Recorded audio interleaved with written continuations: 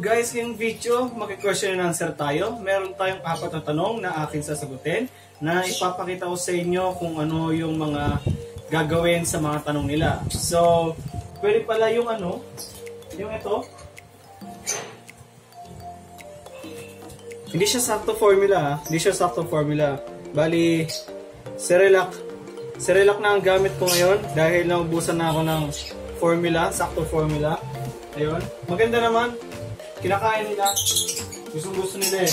Bali, okay. Pakita tayo ito. At, bakit may pulis? Nani? Ako.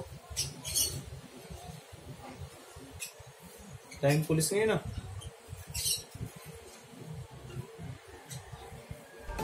Anyways, anyways, tara na, magsasagot tayo sa ating question and answer. Simulan na natin to. Tara na, let's go!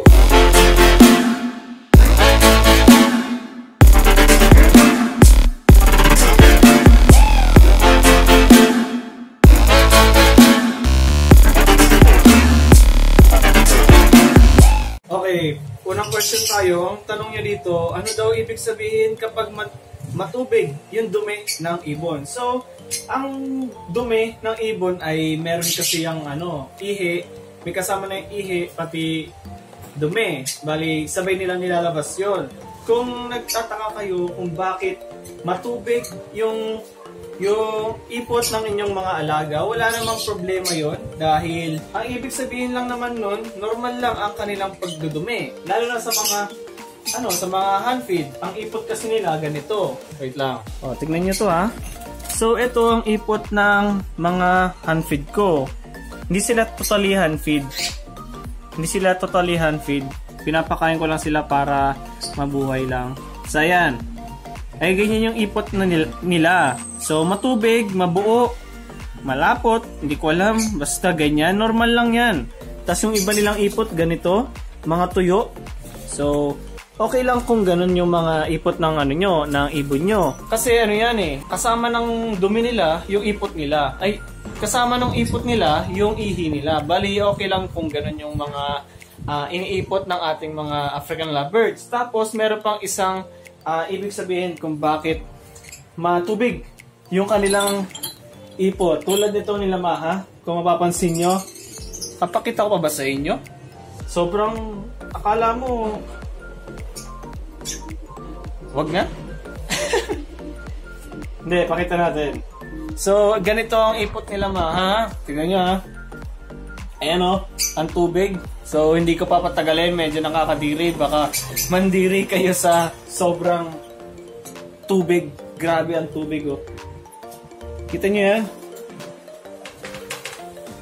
Sobrang tubig ng ipot nila. Tapos dito rin sa kabila. Ayan. So, kapag ganyan ang mga ipot ng inyong mga alagang African lovebirds, meron din ibig sabihin yan. Ibig sabihin nun ay nasa ano na sila, ah, labor. Nagli-labor na sila ng mga itlog. Uy, mukhang nalabas na ni Maha yung unang itlog ah. Lumiit na ulit yung tiyan niya oh. So, silipin natin mamaya yung itlog nila Maha. Okay? Bali, ayun. Ayun yung ibig sabihin ng matubig na tu- ano na ipot. So, yung sa unfeed natin, yung mga ipot-ipot nila, matubig din, pero normal lang yon. Tapos, yung dito kinamaha, ito yung kinamaha, nakita nyo naman kung gaano katubig yung kanilang ipot na parang nakakadiri talaga. So, ang ibig sabihin nun, nasa labor sila, nagaano sila, nagiitlog, nasa kakatapos na mag-meet or gumagawa na ng itlog doon si Maha sa kanyang uh, tiyan. So, ayun ang ibig sabihin ng mga matubig na ipot. Tapos, ayun lang ang masishare ko sa sa ipot, about sa ipot. Kung meron kayong ah, experience sa matutubig na ipot, i-comment nyo lang para malaman din ng mga kasama natin sa pag-aalaga ng ibon. So, mag next question na tayo. So, yung next question dito, gaano daw kadami ang nilalagay kong selectrogen sa tubigan. So, baka nakita nyo, napansin nyo sa video ko na ito, dalawang 1.5. Pupunuin ko to. Papakita ko sa inyo sample. So, ito yung sample natin. Ganyan kadami. Yan. Okay lang kahit punuin nyo. So, kapag meron kayo 1.5, 1.5, tama ba pinapakita ko? Ay, mali. Ito pala. 1.5 liters. Ayan. Tapos, okay kung hanggang dito, o kaya hanggang dito, o kaya puno. Tapos, lalagyan nyo ng gumawa kayo ng funnel. Ito, funnel. O kaya cone, kung saan ilalagay nyo dito yung powder, tapos lalabas dito para hindi mahirapan ipasok doon. So, isample natin ito. Lalagay nyo dyan. Huwag tayo gumawa dito. Dito tayo sa lapad. Okay, sample natin to. Dito tayo gagawa. Sana nakikita nyo. Sana nakikita nyo talaga. Ayan. So, isang petong gagawin din natin ay essential vet kasi hindi pa tayo hindi pa ako nagbubukas ulit ng ng selectrogen. So, dalawang kutsara sa dalawa. Ayan, tapos sarado na natin. Then after nun, taktak yung ganon para bumaba lahat. Tapos, doon takip. Doon takip. So, basta kumulay lang siyang dilaw, okay na yan. Kita nyo, dilaw na. Kung sa camera hindi siya madilaw, dito sa personal sobrang dilaw niya. So ito lang. Okay na to.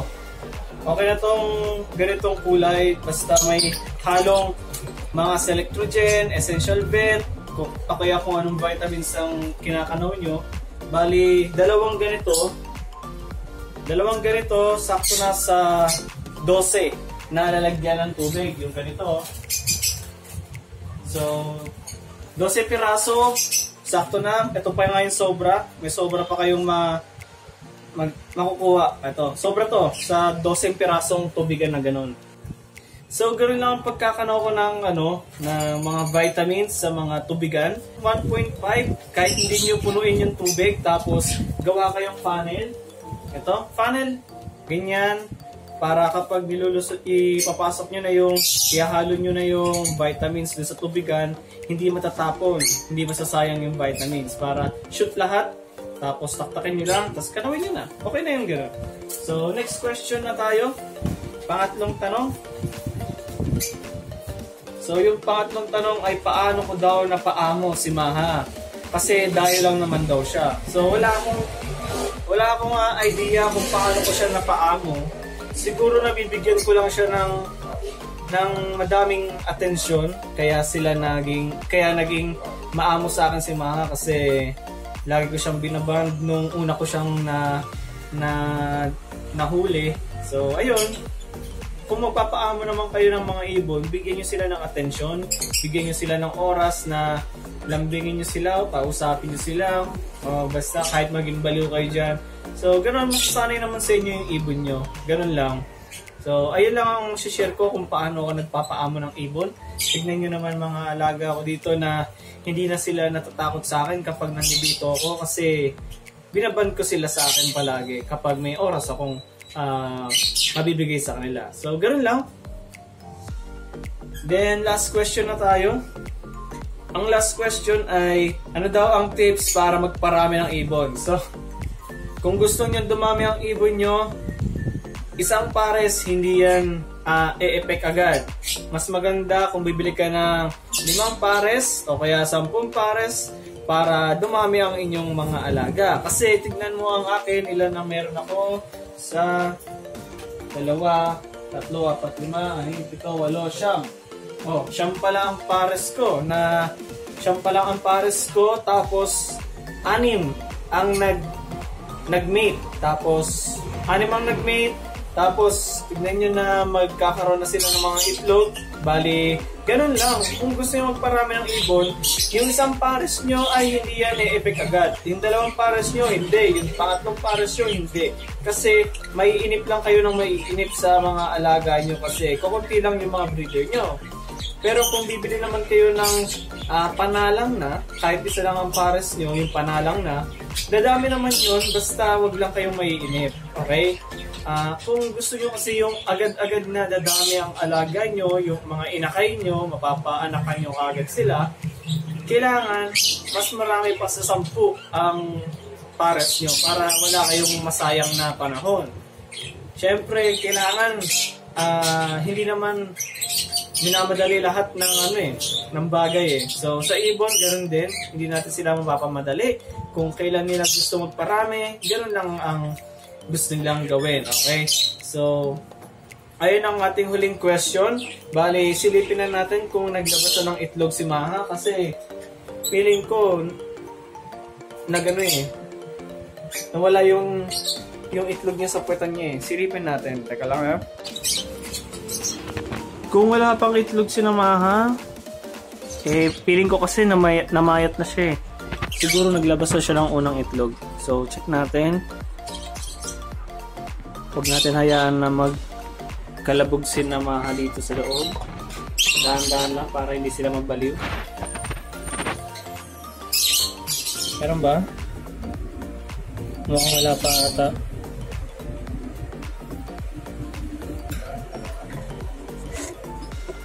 Oh, mukhang wala pa nga ata. So, baka na So baka na ano lang ako, malikmata na baka namayat lang si Maya. Si Maya? Si Maha. Ah, oo nga, hindi pa. Ang laki pa rin pala ng tiyan niya. So, akala ko nagitlog na siya kasi akala ko na ano, lumiit yung tiyan niya. Bali, wala pa pala. So, ayun lang guys ngayong video mag-shoutout sa tayo. Okay, shoutout tayo. Shoutout kay Free Flight Bird and Hanfeed, kay Mark Daniel Miranda, kay Roy Ian Barcelona, kay Ricky Dakara, kay Jose Victoria, kay Noel Maun, kay Jaris Jace Guavera, shoutout din kay Romar Vidanes, shoutout din kay Lay Cabrera, kay Dexter Fernando, kay Johnny Baun, kay Joselito Irigan, shoutout din kay John Hendricks Feliciano Quezon. Shoutout din kay Impostor Among Us, kay FRMG Palaboy, kay Norman J. Victorino, shoutout din kay Kain Pepper PH. Shoutout din kay Marge Chavez, kay EMC Hub, kay Wingdel Karig, kay Junior Tanyowan, kay Lo Leobert, shoutout din kay Leobert Kabato, shoutout din kay Billy Osan, shoutout din kay Daryl Dave Constantino, kay Elias Jr. Natividad, kay Clement Godwin D. Domingo. Shoutout din kay John Carl De Jesus, kay Kimwell Maranata, kay Leno Basyong, kay Panaligan Carl Brian K. Shoutout din kay Matthew Severa, kay Nihan Cares, kay Aisha Valles, kay Adrian Soledad. Shoutout din kay Charles Martinez, kay Florence Aquino, kay John Russell Sapno, kay JR Banal, kay Giet Yasser Achivoy. Shoutout din kay Jerome John Rosco, kay Luisa Cunanan. Shoutout din kay Jopel Chua, kay Angelino Rimundo, kay Sebastian Chris Maron, kay John Mike Retardo, kay Daryl Lazo, kay John Mark Zamora. Shoutout din kay Chris Del Rosario. Shoutout din kay Roy Ian Barcelona, kay Clark Alegria, kay Prince De Guzman. Shoutout din kay Mike Monton, kay Nognog TV, kay Johnson Pasqua, shoutout din kay Prince Kiel Tatel, kay GR Luna, shoutout din kay John Dave Jesus, kay Kero Ganzon, kay Aina Lopez, shoutout din kay Boss Casono, kay Angelo, shoutout din kay Angelo Briones, kay Ezo Maka, kay Jasper Lomotos, kay Just Love TV. Shoutout din kay Leo Manalili, kay Kiane J. Azom Dem, Mendoza. Mendoza pala yon binaliktad lang. Kay Kian J. Mendoza. Shoutout din kay Alvin Jude Anyano. Kay Kyle Andre Perez. Kay Joed Zamora. Kay Ner Flores, Ner Flores. Shoutout din kay Kian Andro. Ang dami nyo magpa-shoutout ah. Kay Dennis Palabas. Kay Mark Harvey Flores. Kay Henry Inco II. Kay And shoutout kay Joseph Ariola. So kung gusto nyo magpa-shoutout, comment lang kayo at isa-shoutout namin kayo kada video namin. Tapos kung may mga katanungan pa po kayo, comment nyo lang yan at sasagutin din namin yan.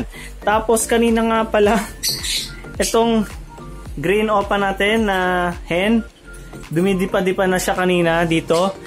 Hindi ko alam kung, kung pinagtitripan lang siya kasi dumidipa nga siya pero hindi siya pumapatong. Hindi ko alam kung itong uh, green opahin natin na dumidi pa kanina, eh, nantitrip lang. So, pero nakitaan ko naman na sign na dumidi pa na siya dito sa opa kak natin. Hindi ka na malulungkot. Ayan, hindi ka na malulungkot. Dumidi pa na ang partner mo. Kapag dumi pa, patungan mo agad ah. Para dagdag ka rin sa aming ano, gift bird ha. Galingan mo, galingan mo. Galingan mo. So ayun lang guys ngayong video. Sana may natutunan tayong bago about sa pag-aalaga ng African lovebirds. Tapos kung bago pa lang kayo sa aming channel, bigyan nyo lang kami ng subscribe. So ayun lang guys, abangan nyo ang ating pag-give bird. Ulit-ulitin natin yan na iya na ipapaalala sa inyo na meron tayong gift bird kasi hindi tayo manloloko. Mamimigay tayo. Okay? Legit to, legit. So, hihintayin natin na magkaitlog sila muna, tapos mapisa ang kanilang mga itlog, tapos palakihin nila yung mga inakay nila hanggang sa marunong nang tumuka ng seeds, okay? Ayon ang ayun ang plano dito, ha? Kaya wag po tayong maiinip na na yung uh, ano natin, yung mga pag-give bird natin ay nagmumukhang uh, kalokohan lang. Wag ganon ha. Kasi sure ako sigurado ako na magpapag-give bird ako na anim na piraso sa anim na pares. Okay? So, ayun lang guys ngayong video. Salamat sa mga sumusuporta and we'll see you on the next video.